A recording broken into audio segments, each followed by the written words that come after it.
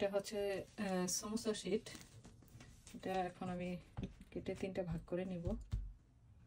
আর এটা হচ্ছে ট্রফি ট্রফিংটা দিয়ে আমি আর কি ভিতরে ফিল আপ করব সমোসাটা আর এটা হচ্ছে ময়দা আর পানি দিয়ে গুলে নিয়েছি। আমি এটা কেটে নিব।